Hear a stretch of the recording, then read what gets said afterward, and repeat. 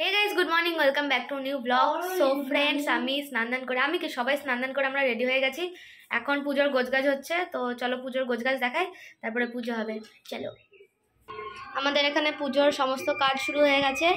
আর আগের দিনের ভিডিওতে ঠাকুরের মুখ দেখায়নি স্বর্ণারে গরু। এই যে।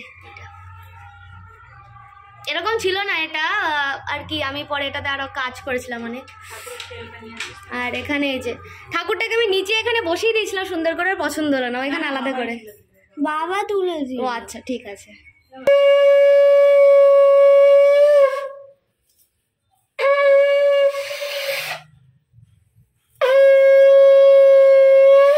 Guys, এখন পুজো কমপ্লিট হয়ে গেছে আর প্রসাদ যেহেতু ডিস্ট্রিবিউট করা হবে সেই কারণে অনেক ফুল পড়েছে এর ওপর সেগুলোকে শাড়ি নেওয়া হোক মানে বিতরণ করা হবে শাড়ি সো গাইজ ফাইনালি আমাদের পুজো কমপ্লিট এখন সবাইকে প্রসাদ বিতরণের পালা। আর পুজো শেষ হতেই একদম ঘরে হাজির হয়ে গেছে দুই গেস্ট আবার ভালো লাগছে না বাইরে চলে যাচ্ছে। আচ্ছা আচ্ছা তো হয় ওপরে ওঠা বা চলে যাও। ওঠো, ওপরে ওঠো ওপরে ওঠো। হ্যাঁ ওপরে উঠে বসো। তুমি দাঁত বার করে কেন আছে হ্যাঁ?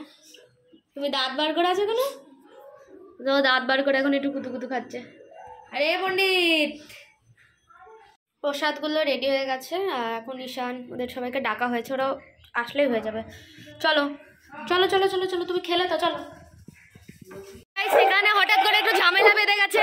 কি হয়েছে কি হয়েছে এত ঝামেলা বেঁধেছে কেন এখানে কে এসেছে এই লিলি আচ্ছা আচ্ছা আচ্ছা লিলি এসেছে লিলি গো গো চুপ করো।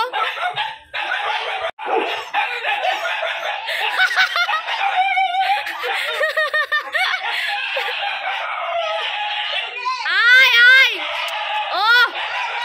তাড়াতাড়ি এসো। কি হয়েছে?